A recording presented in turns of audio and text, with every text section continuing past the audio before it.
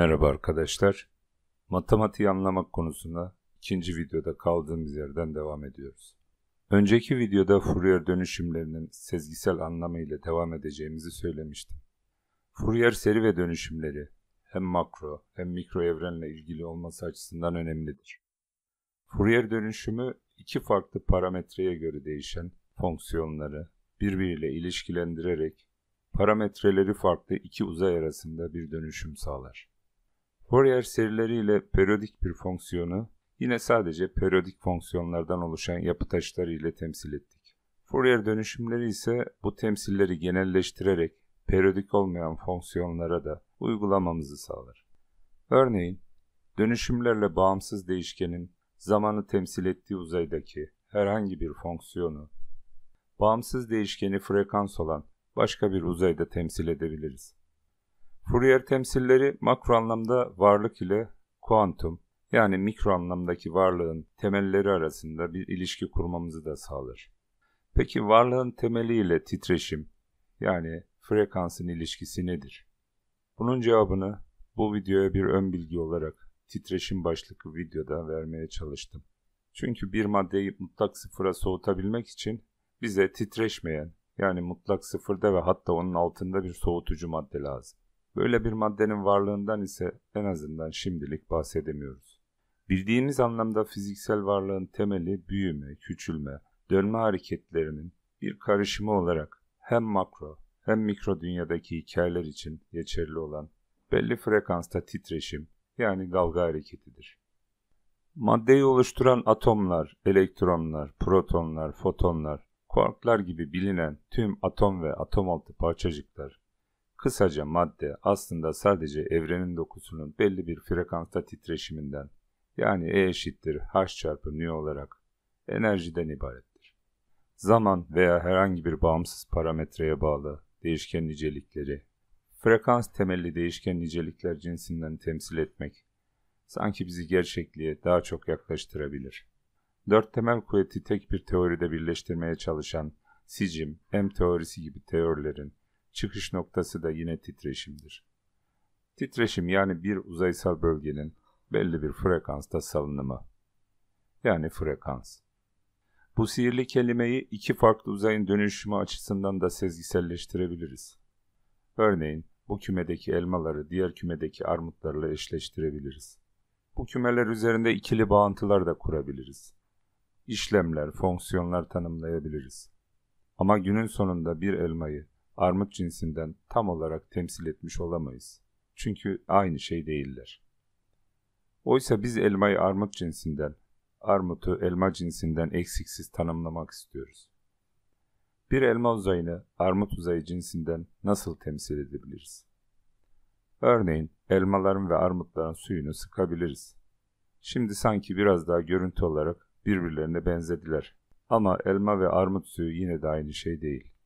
Peki elma ve armut suyunu damıtsak ve saf suyu ayırsak, kalan kısmı da posaların içine eklesek, işte nihayet elma ve armutun ortak bir bileşenini veya ne diyelim yapı taşını yakaladık. Elma ve armutların içindeki H2O yani su miktarını birbiri cinsinden artık temsil edebiliriz. Burada elmaları temsil eden A gram su, burada armutları temsil eden B gram su var. Sanki doğru yolda gibiyiz. Öyleyse devam edelim. Bu gördüğünüz posaları da ayrıştırdığımızda elma ve armut içinde %99 oranında aynı maddelerin olduğunu görürüz. Örneğin buradaki potasyumla, buradaki C vitamini ile buradakilerin aynı olması gibi. Neredeyse birebir görünseler de birinde olup yine de diğerinde olmayan bir şeyler var. Böylece temsilimiz yine eksik kalır. Örneğin elmada nişasta var ama armutta yok. Veya armutta alfa karoten denen madde var ama elmada yok. Ama ayrıştırmayı daha derine indirdiğimizde nişasta alfa karotenin de karbon ve hidrojen atomlarından oluştuğunu görürüz. Yani atom mertebesine indiğimizde sanki her iki taraf da farklı miktarlarda da olsa aynı atomlardan oluşmuş gibidir.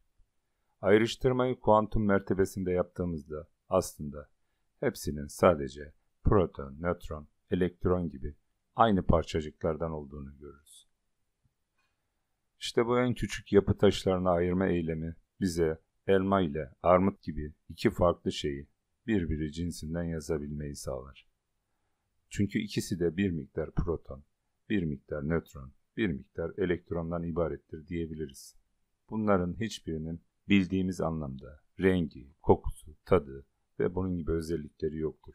Renk, koku, tat gibi duyular makro çevreyi elektriksel olarak algılayan beynimizin çevresini algılamak için değişik frekansları sınıflandırıp onlara bir imaj atamasından başka bir şey değildir. İşte bu atom altı parçacıkların da bir tek ortak noktası vardır. O da frekans. Çünkü bilinen parçacıkların hemen hepsi sadece evrenin dokusunun farklı frekanslarda titreşiminden ibarettir. Kısaca birbiriyle aynı olmayan elma ve armutu aynı tek şeye yani frekansa indirgemiş olduk. Böylece bu iki farklı uzayı temsil eden nesneleri, onları oluşturan şeylerin frekansları yani tek bir bağımsız değişkenin fonksiyonu olarak temsil edebildik.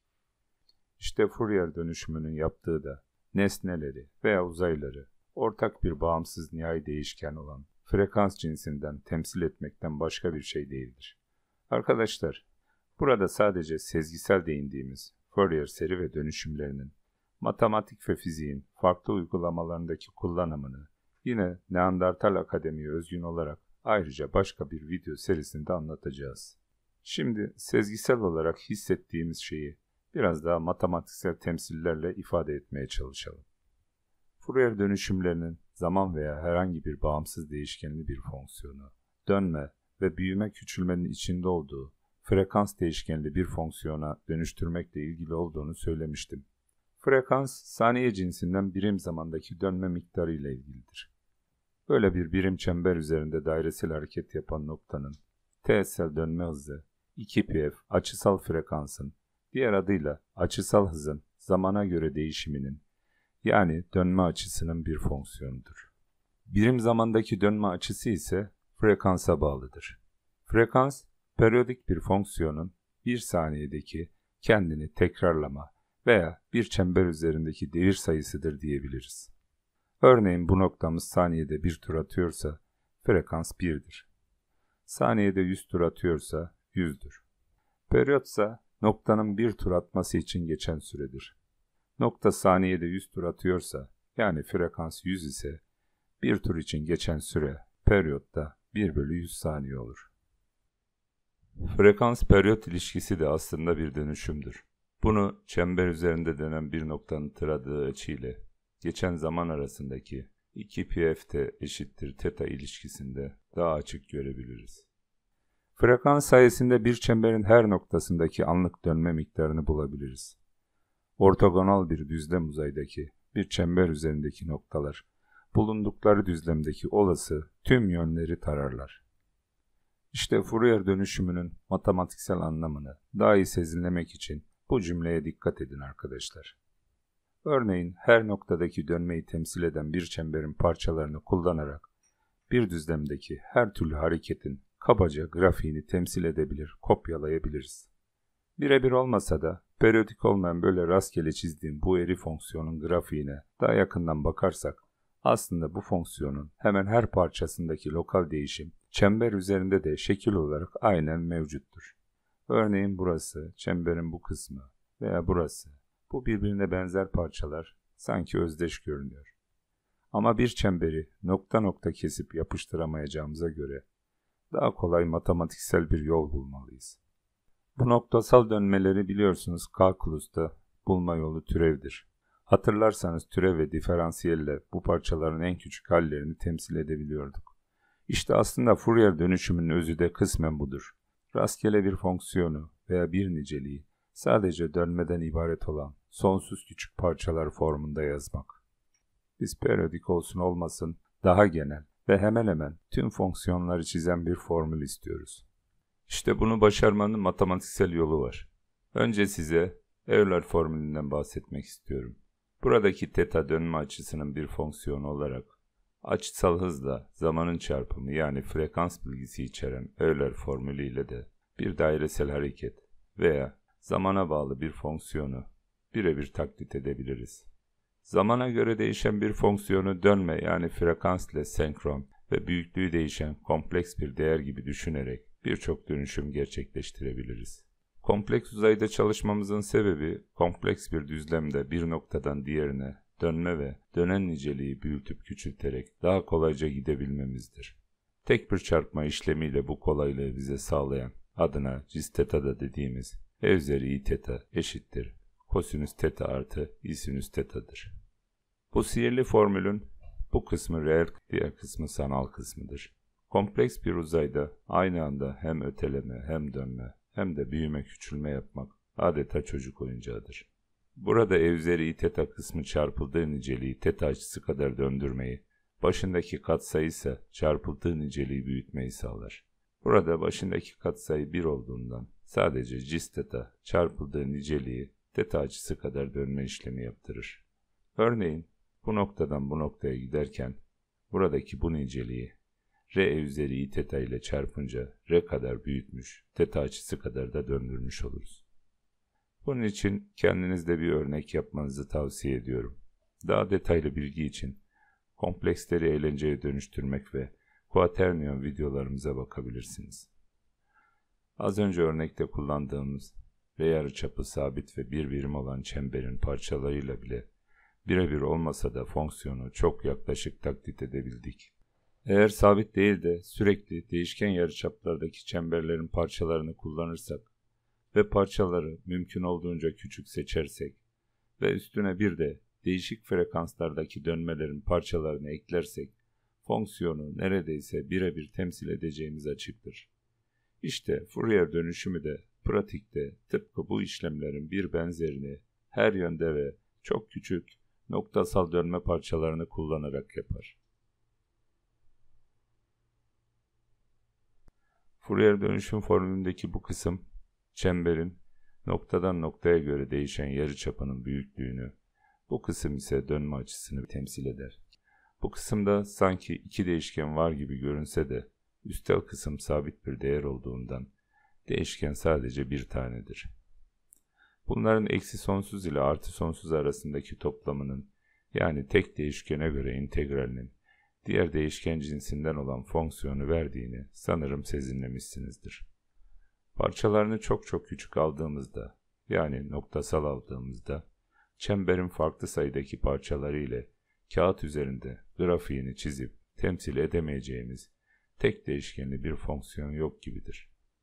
Bunun için sonsuz sayıda farklı yarıçaplarda çember parçaları ve bu parçaları da sonsuz küçük yani noktasal almamız gerektiğini sezinleyebilmişsinizdir. Bu grafiklerde de gördüğünüz gibi frekans değişkeniyle dönüşecek yani temsil edilecek büyüklük, alınan yol, uzunluk, ağırlık merkezi, toplam ağırlık, toplam yük, toplam elektrik veya manyetik alan, faz açısı, elektromanyetik dalga ve bunun gibi her şey olabilir. Türevin her noktadaki dönmeyi temsil etmesi gibi burada gördüğünüz Fourier dönüşüm formülündeki bu kısımda tıpkı her noktadaki dönmeyi temsil eden türevinin diferansiyel ile çarpımının integralinin fonksiyonun seçilen aralıktaki değerini vermesi gibi Euler formülü ile çarpılmış bu kısım fonksiyonun bir noktadaki dönmesini yani sanki türevini, integrali de dönme parametresi cinsinden fonksiyonu verir. Her noktadaki dönme miktarını veren bu kısmın tıpkı calculus'tan bildiğimiz türeve denk geldiğini daha görüntüden bile sezinlemişsinizdir. Bunun matematiksel anlamı zamana bağlı olmayan bir fonksiyon türevini büyüklüğü zaman parametresine bağlı bir fonksiyonun dönme hareketiyle temsil edebiliriz. Böyle dönme işlemini kullanarak farklı parametreli ve farklı uzaylarda da olsalar bile iki fonksiyon türevlerini sanki karşılıklı bulabiliriz. Bu frekansa göre değişen bir fonksiyon türevini zaman değişkenli fonksiyon kullanılarak bulmak gibidir. Bu dönüşümler bir uzayda daha zor olan işlemleri başka bir uzayda daha kolayca yapmamızı sağlar. Bir uzayda çözmesi zor olan diferansiyel denklemleri Fourier dönüşümleriyle başka bir uzayda daha kolay çözebiliriz. Dönüşüm sayesinde zamana bağlı eğrisel bir uzay eğrisini Fourier dönüşümüyle zamandan bağımsız temsil etmiş olduk. Aslında bunun için kullandığımız şey çok basittir. Sadece biraz dönme, biraz öteleme veya biraz büyüme, küçülme. İşte aritmetik işlemlerle temsil edilen ve aşina olduğumuz bu basit hareketler bize iki farklı ortagonal uzay arasında bile sorumsuz bir dönüşüm sağladı. Şimdi makro mertebedeki tüm değişimlerin matematiğini açıklayabildiğimiz bu öteleme, dönme, büyüme, küçülme gibi hareketlere bazı örnekler verelim.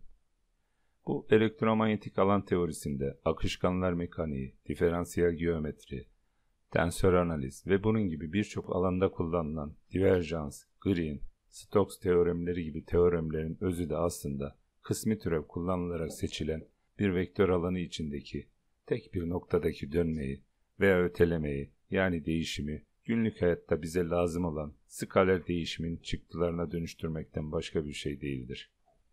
Örneğin böyle bir vektör alandaki rotasyonel yani nabla operatörüyle vektör alanını veren fonksiyonun vektörel çarpımı bize bu alan içindeki bir noktadaki en küçük dönme değişimini verir. Bununla ilgili daha detaylı bilgi için Green, Stokes teoremi, diverjans ile ilgili videolarımıza bakabilirsiniz. Başka bir örnek kuantum mekaniğinde çok işe yarayan lineer işlemci matrisler de bir vektörü hem döndürür hem büyüklüğünü küçüklüğünü değiştirir. Yani lineer işlemciler de aslında dönme, öteleme ve büyüme küçülme işlemleri yapar. Kuantum mekaniği konusunu işlerken göreceğimiz kompleks hermetik işlemciler ve matrisler de adjointi kendine eşit olan işlemci veya matrisler olarak tanımlanır. Bir kompleks niceliğin eşleniğinin transpozu adjointidir. Adı havalı olsa da adjoint sadece bazı yönlerde biraz dönmedir o kadar. Bu karmaşık niceliğin eşleniği örneğin z niceliğinin eşleniği 360 eksi açının x ekseni ile yaptığı açı kadar artı yönde dönmesidir. Veya kağıt düzleminin bize göre 180 derece dönmesidir. Eşleniğin transpozu ise matriste satır ve sütunların yer değiştirmesi, yani bu kompleks niceliğin x ve y eksenlerinin yer değiştirmesidir. Yani bu kompleks niceliğin reel ve sanal eksenlerinin yer değiştirmesidir. Bu da bir dönmedir. Sonuç olarak bu kompleks niceliğin eşleniğini alıp yani demin söylediğim şekillerde döndürüp sonra transpozunu alırsak sanki yine aynı z niceliğinin başka bir uzayda aynı yeri kaplayan metrik bir kopyasına ulaşırız. Buna pratik kullanımda bir örnek verirsek en basit olarak matris çarpımını yapamadığımız satır ve sütun sayılara uygun olmayan iki tensörün çarpımını adjoint kullanarak yapabiliriz. Veya kuantum mekaniğinde adjointi kendine eşit olan kendine adjoint yani hermetik matrisler çok önemlidir. Hermetiklik önemlidir. Çünkü kuantum dünyasında gözlenirlerin böyle bir otomorfik temsillerini bulup işlem yapmak, iki veya daha fazla rankı olan tensörleri vektör gibi tek veya skaler gibi sıfır ranklı gözlenirlere indirgemek ancak böyle mümkün olabilir. Ayrıca determinantı 1 ve ortagonal olan tüm matris işlemcilerin temsil ettiği özel ortagonal SON grupları yine dönmeyi temsil eder. Örneğin SO2 grubu bir nokta etrafında, SO3 grubu da yine bir eksen etrafında dönmesini temsil eder. Kompleks düzlemde bir nokta etrafında dönmeyi temsil eden Euler formülü de bir çembere, dolayısıyla da matris işlemciyle temsil ettiğimiz SO2 grubuna izomorfiktir. Quaternion videosunda gimbal lock riski olmadan 3 boyutlu dönmelerin nasıl yapıldığını anlatmıştık. Kısaca matematikte pek çok konunun hikaye ve ana fikirleri sadece biraz dönme, öteleme ve büyüme küçülme gibi tamamen aritmetikten bildiğimiz basit hareketlerden ibarettir.